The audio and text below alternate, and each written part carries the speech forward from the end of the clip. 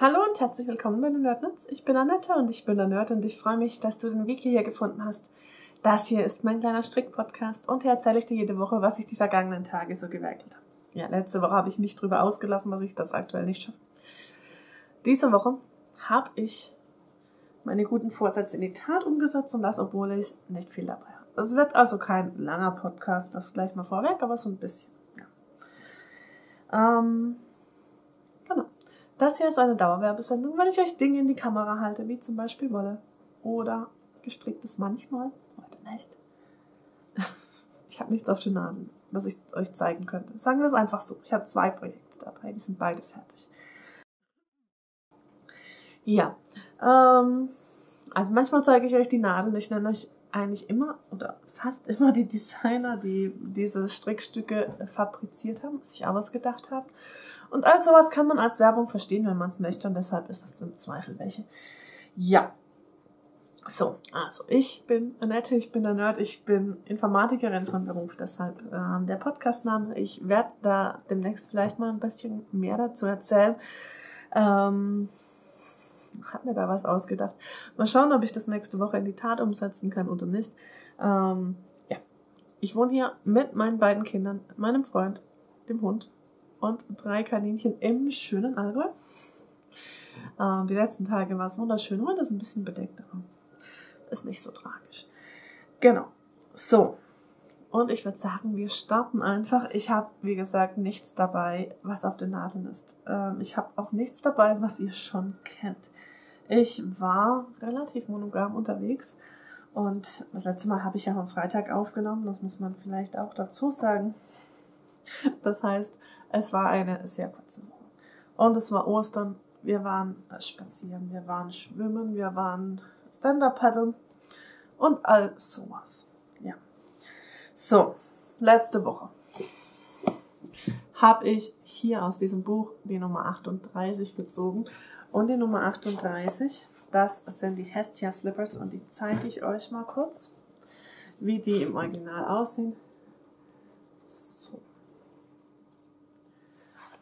Keine richtigen Socken, ähm, sondern so eine Art Hausschuh.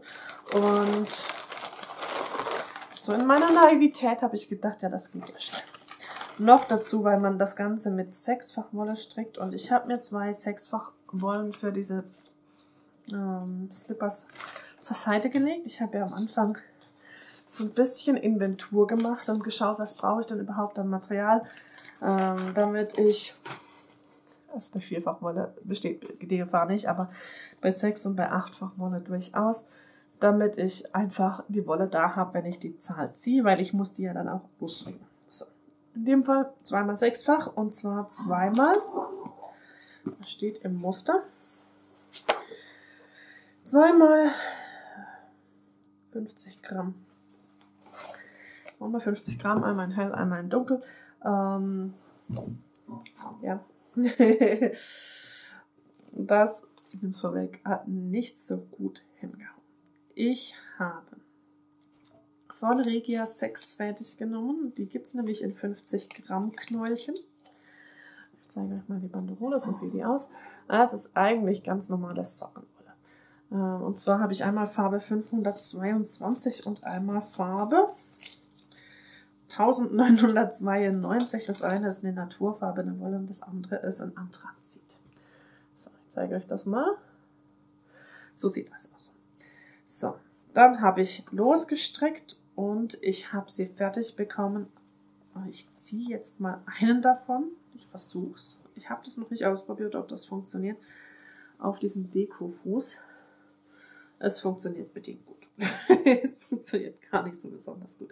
Also die Idee war, den da drauf zu ziehen, weil auf normale Sockenblocker brauche ich den natürlich nicht zu ziehen, weil äh, sieht man nichts. Ne? So, da hängen jetzt natürlich überall Haare dran. Zum einen vom Hund, zum anderen von mir. Und ja, ich bin, also ich habe mich auf diese Slippers gefreut. Ich fand die hübsch. Ähm, die gibt es in zwei Größen und Ich habe die größere Größe gestrickt und das ist was rausgekommen, das so annähernd eine Schuhgröße, ich sag mal 38 hat vielleicht, vielleicht 9. Sie sind dehnbar, das ist mir schon klar. Ja, so sehen die also aus.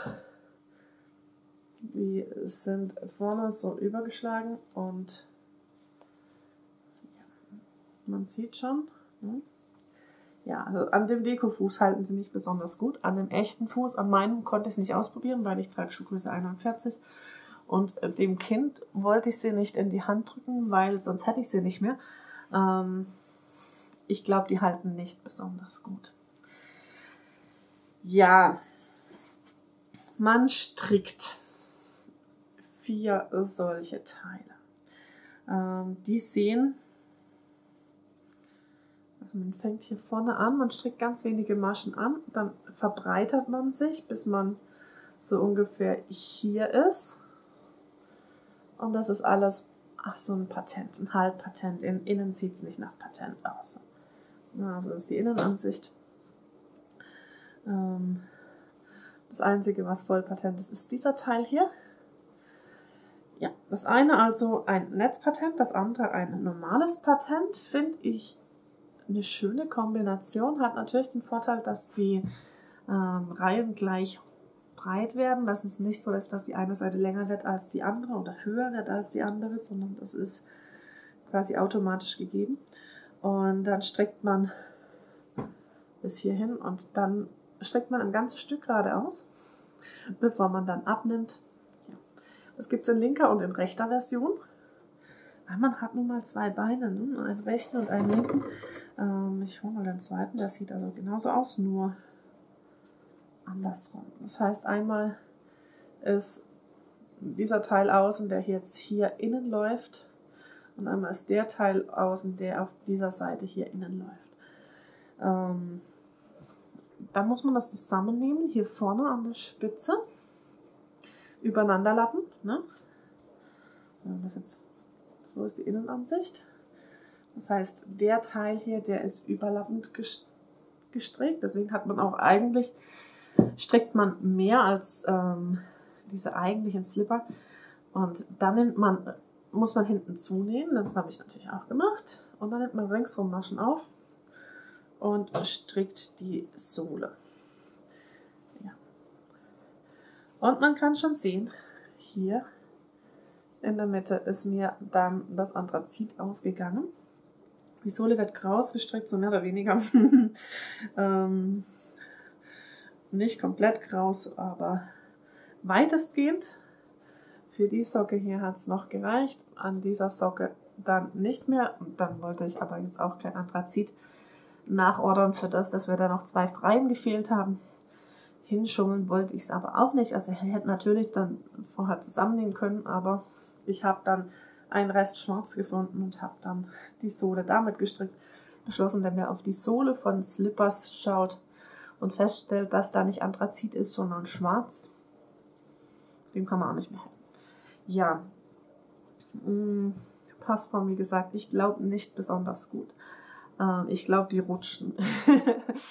also für, für Slipper, die man auf dem Sofa anhat, ist das vielleicht okay. Sobald ich damit durch die Wohnung latschen muss, geht das mit Sicherheit runter. Ähm, und ja, ich bin also nicht so wahnsinnig zufrieden, ganz ehrlich nicht. Ähm, ja, Wolle war okay. Also die Wolle kann man überhaupt nichts sagen. Die Anleitung gut verständlich geschrieben, ja. Eher kurz, was mir nichts ausmacht. Ich brauche da nicht immer viele Worte dafür. Mir reicht es oft auch in, in kurzer ähm, Version. Die Anleitung ist von Mika John. Ähm, und wie gesagt, aus dem Buch 52 Weeks of Socks. Eine Anleitung, die ich also nicht ich würde jetzt keine Veranlassung für mich sehen, die nochmal zu stricken. Ja. Ich habe für nächste Woche eine Zahl gezogen. Das blende ich euch jetzt mal kurz ein. Und jetzt gibt es eine neue Zahl. Einmal bitte.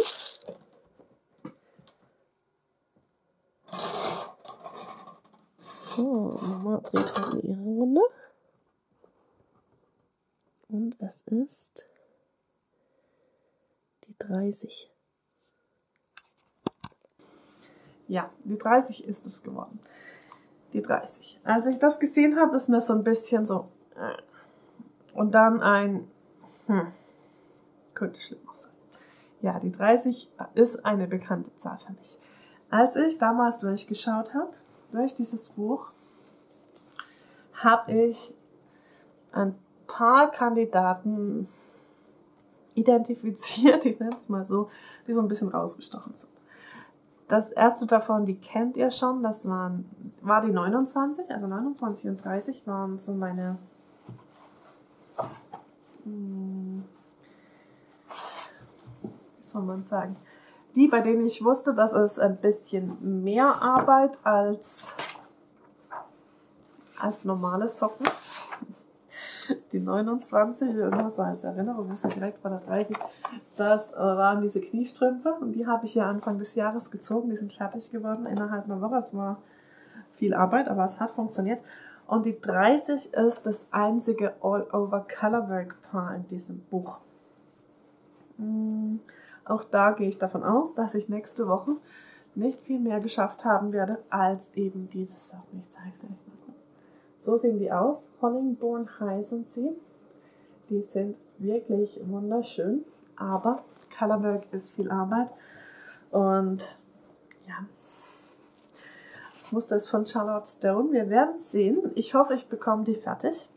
Ich will auch nächste Woche unbedingt aufnehmen, weil ich brauche ja logischerweise eine neue Zahl. So, das Kind schickt mir Nachrichten eine neue Zahl, eine neue Farbe brauche ich nämlich für den Mai. Das heißt, nächste Woche werde ich aufnehmen, wenn es auch ein kurzer Podcast wird. Okay, das war's zu diesem Buch. Ähm, ich habe mich beeilt, dass ich die übers Wochenende und inklusive Montag fertig bekomme, weil ich wusste, dass natürlich Sock Madness weitergeht. Wir hatten Runde die Runde 2 beendet und dann kam die Info von den Mods, dass es erst dann die folgende Woche drauf weitergeht, also sprich frühestens Ostermontag. Und am Ostermontag kamen unsere Specs raus. Specs, das ist das, was vorab veröffentlicht wird. Wir bekommen eine Materialliste jedes Jahr. Die ist öffentlich, die kann jeder anschauen. Ähm, und anhand der kann man auch entscheiden, ob er jetzt teilnehmen möchte oder nicht ähm, kommt früh genug raus. Ist, wenn man jetzt sagt, okay, das sind jetzt von den sieben Wettbewerbssocken vier mit Perlen und ich stricke nicht gern Perlen, kann damit nichts anfangen, dann ist es halt nicht die Madness für einen. Ähm, ja, und in diesen Specs war eine Socke und die habe ich mir gewünscht für Runde 3. Das hatte verschiedene Gründe.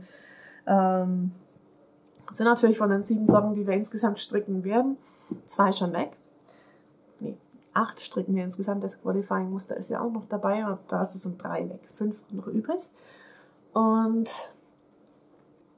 mm, ich habe für Monat April ja die Farbe Rot gezogen und ich hatte noch nichts Rotes gestrickt. Ich wusste aber, dass in meiner Kiste mit den plastikfreien Sockenwollen eine Wollmeise Pure rumliegt in Rot.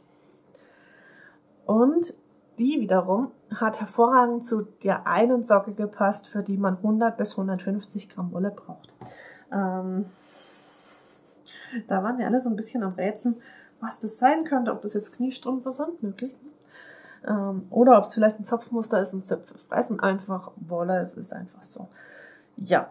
Und ich habe mir so ein bisschen gewünscht, dass dieses Muster noch im April drankommt, eben weil Rot, also ich hätte jetzt auch eine Wolle gefunden, abseits von Rot, wenn das jetzt im Mai oder Juni dran gekommen wäre, aber oder ich hätte dann dieses Rot verstrickt und ein anderes für die Challenge.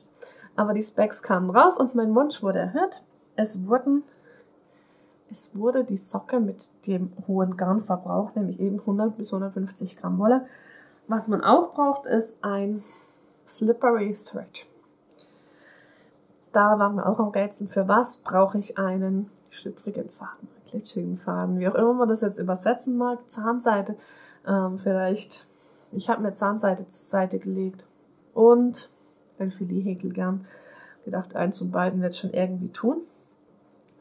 Ja, also das war das und am Dienstag am Nachmittag kam dann das Muster raus. Und das Muster heißt Cable Wabley von Liz Sadmack. Ja, die Designerin, die mir bis dahin nichts gesagt hat, ich weiß nicht, ob sie noch andere Socken hat oder andere Anleitungen. Ich kann es euch nicht sagen. Wie immer, es ist eine Madness-Anleitung, die gibt es jetzt noch nicht öffentlich. Ähm, irgendwann nach der Madness steht es den Designern frei, ob sie die veröffentlichen wollen oder nicht. Ob sie die zum Kauf anbieten oder ob sie kostenlos sind, das kann jeder Designer dann für sich entscheiden aber erst nach Abschluss der Madness und das wird irgendwann im Juni sein. Ja, so. Und wie soll ich sagen, es ist Dienstagnachmittag kam sie raus. Ich habe angeschlagen mit meiner roten. Ich zeige euch die mal. Die Reste. Das ist übrig. Und ich habe insgesamt 115 Gramm verstrickt. Ich habe die kleine Größe gestrickt, allerdings mit einem langen Fuß, weil Größe 41 und ich stricke kurze Maschen. Ja, äh, komme ich gleich nochmal dazu. Und ich denke, dadurch, dass die Wollmeise eine relativ dicke Sockenwolle ist, mit äh, 360 Meter auf 100 Gramm, braucht man da tendenziell ein bisschen mehr Gewicht als mit einer, die 420 Meter läuft. Also vielleicht bekommt man das auch mit 100 Gramm hin, mit der kleinen Größe und vielleicht ein bisschen zierlicheren Füßen als meine. Ja, Wolle. Banderole dazu. Verfangen, natürlich, wie man das machen muss. Das ist also Rohrspatz und Wollmeise. 100% Wolle in der Farbe Rubin. Habe ich schon mal für Socken verwendet, das funktioniert ganz gut. Ja, die kommen in 150 Gramm Strängen. Mein Strang hatte tatsächlich 160 Gramm. Ich finde es immer schön, dass die ein bisschen übergewichtig sind. Ähm, ja. Und jetzt zeige ich euch die Socken, denn die sind seit Donnerstagnachmittag fertig. Ich habe also ein bisschen über zwei Tage gebraucht dieses Mal. Und so sehen die aus. So, man fängt hier an. Das ist eine Toe-Up-Socke. Ich habe die zweite auf das gerade Sockenbrett gepackt. Also man fängt hier unten an, man schlägt an mit dem Turkish Cast On. Das ist, das ist eigentlich wie Judy's Magic Cast On. Also eben eine Möglichkeit, wie man hier unten anschlägt, ohne dass man das jetzt großartig sieht. Und dann wird die Spitze im Muster gestrickt und ich stricke überhaupt nicht gern Toe ab, muss ich ja dazu sagen, weil ich eben diese Spitze so so friemelig finde. Und eine Spitze dann auch noch mit, äh, mit Muster und insbesondere mit Zöpfen, die hat schon ihre Herausforderungen, ich sag's mal so. Ich war also froh, als ich die Spitzen geschafft habe. Ich habe beide parallel gestrickt, also nicht auf einem Nadel, nicht auf einer Nadel, aber auf zwei Nadelspielen. Das heißt, ich habe eine Spitze gestrickt, ich habe die zweite Spitze gestrickt. Und damit hatte ich für mich das Schwierigste von diesen Socken geschafft. Ja, und dann verzopft man sich durch den Fuß entlang, zwischen Ende, Spitze und Anfang des Zwickels, die Zwickelzunahme in dem Fall, musste man mindestens 48 Reihen haben. Ich habe 66. Ähm, weil, ja, das einfach so ist, wenn man kürzer strickt als andere. Ähm, Vielleicht hätten auch 60 gereicht. Tatsächlich, ich hab, war mir aber nicht ganz sicher. Ich dann, bin dann lieber auf Nummer sicher gegangen. Man konnte immer nur nach sechs Maschen, also nach sechs Runden, äh, durfte man das Ganze hier weitermachen. Das heißt, ich hatte die Wahl zwischen 60 und 66. Hat mich für 66 entschieden. Okay. Dann macht man die Zunahmen. Das sieht man hier schön, das ist dieser Keil und ist dann hier an dieser Stelle. Was ich total nett finde, ist, dass die letzte Runde hier vom Zwickel in links gestrickt wird. Ein nettes kleines Detail, gefällt mir ausnehmend gut. Und dann kommt die Ferse. Und so eine Ferse habe ich tatsächlich noch nie gestrickt. Ähm, ich kenne das so, bei Toe Up kann man natürlich eine ganz normale Fersenwand stricken. Dann strickt man so hin und her mit verkürzten Reihen. Nicht so in diesem Fall. Ich zeige euch mal die Ferse. Die sieht nämlich so aus. Man hat dann, ich nehme es mal runter, soll ich die auf den auch vielleicht auf den Dekofuß packen? Sieht man das da besser? Das ist jetzt mal auch ein Versuch. Ja, also die Ferse wird nicht mit verkürzten Reihen gestrickt, sondern quer. Ähm, so ähnlich wie so eine angestrickte Borte, wenn ihr ein Tuch strickt. Äh, da hat man ja dann irgendwann ganz viele Maschen auf den Nadeln und dann schlägt man zusätzliche Maschen an und strickt in jeder Hinreihe eine Masche quasi ist man auf. So kann man sich das vorstellen.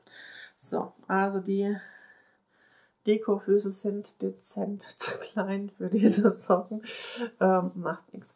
Also man strickt so hin und her und jedes Mal, wenn man wieder unten ist, macht man hier auf der einen Seite mit einer, strickt man zwei zusammen, auf der anderen Seite gibt es eine andere Technik, ähm, wie man eine von den Maschen los wird, sodass man Anfang ganz kurze Reihen hat. In der Mitte sind sie ein bisschen länger.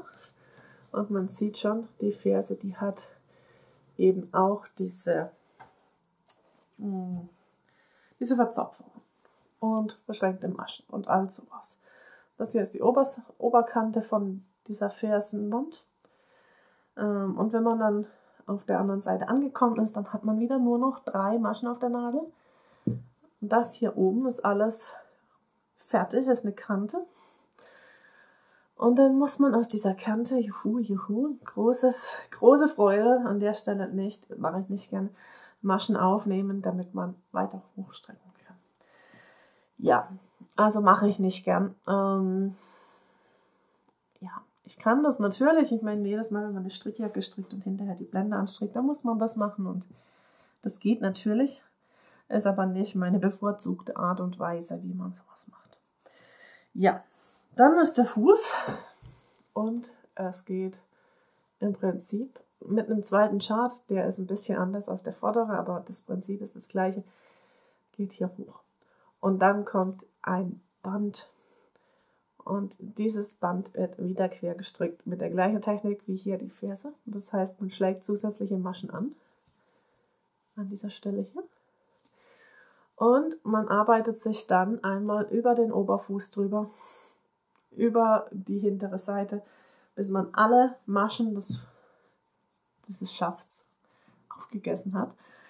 Nur noch 18 Maschen auf den Nadeln hat, die werden dann abgekettet und dann wird diese Naht hier eingefügt, die mir mehr oder weniger gut gelungen ist. Ähm, da gab es keine Schönheitspreise für. Aber das sollte so ungefähr aussehen, dass es quasi ein durchgängiges Muster ist. Und dann, juhu, ein zweites Mal Maschen aufnehmen, damit hier oben das Bündchen gestrickt werden kann.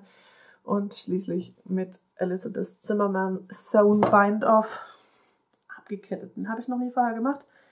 Geht total einfach. Ähm, ist relativ weit, ist bedingt hübsch. Kann man machen, klar. Ähm, ist jetzt aber auch kein optisches Highlight, muss ich gestehen. Ja, aber ganz einfach. Also wer da immer Probleme hat, da einen elastischen ähm, Abschluss zu finden für seine Toe-Up-Socken, das ist mit Sicherheit eine Alternative, die man sich angucken kann, wenn man nicht gern italienisch abkettet. Also wenn ich schon mit Nadel und Faden abkette, dann würde ich tatsächlich italienisch bevorzugen, obwohl das auch nicht so ganz, ja normalerweise mache ich das nicht, aber ja, ja, ja. Ähm, gut. Also, zwei fertige Socken. Ich bin weiter. Ich war tatsächlich insgesamt, glaube ich, fünf schnellste. Und die zweite in meiner Gruppe. Die erste, die ist so. Ja, also Zwulli, ich weiß, dass du Deutscher bist. Ich habe keine Ahnung, ob du zuschaust oder nicht. Aber Respekt für diese Schnelligkeit. Ganz große Klasse. Ja, ich weiß, dass noch ganz viele da draußen stricken und ich wollte euch so ein bisschen vielleicht noch den einen oder anderen Tipp geben. Und zum einen ist das der Tipp, sind meine Zöpfe richtig oder nicht. Das ist so ein bisschen gerade immer Thema in der WhatsApp-Gruppe. Wir haben ja zwei. Es gibt die nur Fragen-Thread-Gruppe und es gibt die Quassel-Gruppe. Und in der Quassel-Gruppe kommen durchaus immer mal wieder solche Fragen wie, schaut euch mal das Bild an, stimmt das so? Und ich finde das sehr, sehr schwierig anhand von einem Bild, insbesondere wenn das Bild dann vielleicht bei schlechter Beleuchtung und äh, leicht unscharf ist, zu bestimmen. Was ihr tun könnt, um herauszufinden, ob eure Zöpfe bei genau dieser Socke hier stimmen, ist, ihr nehmt einen Zeigefinger und ihr guckt euch dieses, diese Zöpfe an. Das sind keine Zöpfe, wie man die üblicherweise so kennt von Socken. Jetzt gucken wir mal. Wir finden in, in 52 Weeks of Socks, da gibt es doch bestimmt Zöpfe. Habe ich da schon mal Zöpfe gestrickt? Ja, schon, aber Standardzöpfe. Zöpfe. Ähm, mal gucken, ob ich sowas finde. So Anhieb nicht.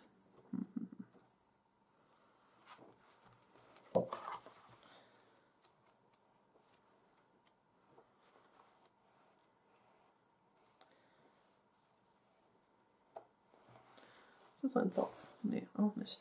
Also da gibt es keine Standardzöpfe drin, aber ich habe einen falschen Zopf ähm, gefunden. Der sieht so aus. Und im Prinzip sieht ja so ein Zopf immer so aus, dass der übereinander läuft. Das sieht ja aus wie so eine Kordel, die so verschränkt ist.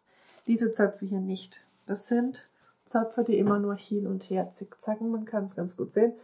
Es geht einmal in die Richtung und einmal in die. Und wenn ich jetzt mit meinem Zeigefinger diesen Zopf entlang fahre, dann komme ich nie an eine Stelle, bei der es verkreuzt, sondern ich kann immer weiterfahren, wie auf einer Autobahn. Ähm, sobald ich hier an eine Kreuzung komme, habe ich einen Fehler entdeckt. Und das gilt sowohl für die Breite, für den breiten Zopf, als auch für den schmalen Zopf. Da gibt es keine Verkreuzung. Das geht immer hin und her und ich kann es entlangfahren bis zum Ende. Ja, ich habe die kleine Größe gestrickt. Die Socke ist mir gut weit hier, weil die hat, ich glaube, 66 Maschen an der Stelle, bin mir nicht ganz sicher. Ähm, ich glaube ja. Und am Fuß ein bisschen mehr, weil natürlich Zöpfe ziehen zusammen, das ist mir schon klar. Ähm,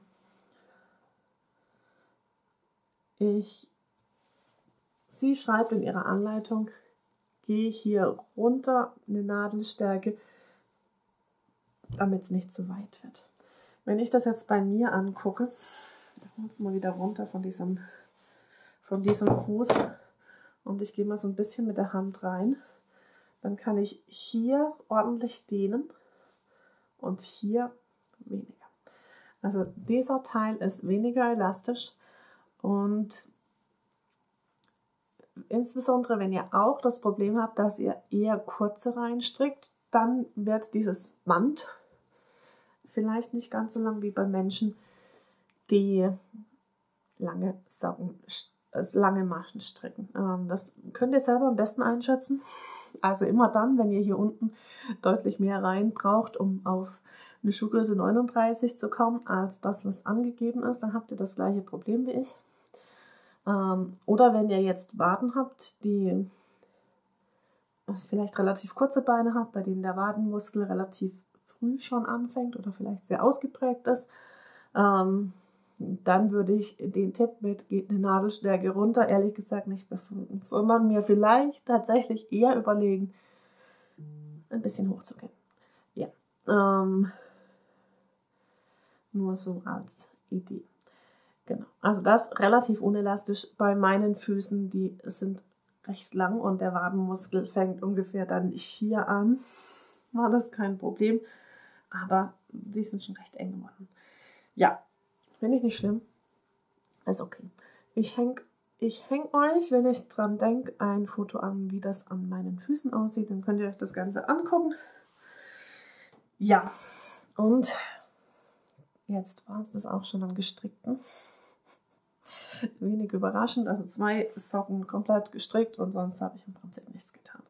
Ich habe, und dazu wird es noch ein extra Video geben, noch was fertig, das nichts mit Stricken zu tun hat. Und zwar ist das ein Diamond Painting, ein kleines Diamond Painting. Das ist der Strassbaum Sommer von Diamond Painting Deutschland. Und den habe ich an Ostern, am Ostermontag geklebt. Das ist kein vollständiges, äh, also überall hier sind keine Steine. Die Steine sind nur da, wo es gerade funkelt und glitzert. Wollte ich euch nicht vorenthalten. Also wenn das interessiert, ihr kann gerne das extra Video angucken, das demnächst dann mal auch erscheinen sollte. Und ja, also noch ein fertiges Projekt. Und damit war es das, glaube ich, fast. Ich wollte euch noch daran erinnern, dass ich die 5000 Abonnenten feiere, die sich hier auf meinem ähm, Kanal rumtreiben. Und ich habe tatsächlich ein paar Videos bekommen. Ein paar ist fast wörtlich zu nehmen. Das ist eine Handvoll. Ich habe die Hoffnung, dass da vielleicht noch ein bisschen was kommt.